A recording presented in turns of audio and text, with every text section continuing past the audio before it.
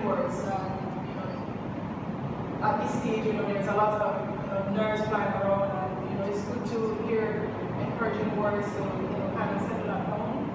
So we, you know, more likely to forward tomorrow. Um, the win against the Australians in 2016, does that mean anything ahead of tomorrow? No, it doesn't. Um, you know, that's that's the past. You know, tomorrow is definitely more comes.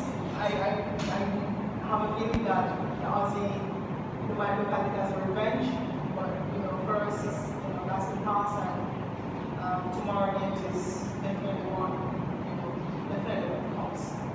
And that win against England and the circumstances, did, is that like the perfect preparation? You just seem so collected to, to get the win then? Yeah, as I said, you know, they, we as players, we've been playing some really good cricket, especially our bowling. Um, you know, confidence level of everyone is, is high.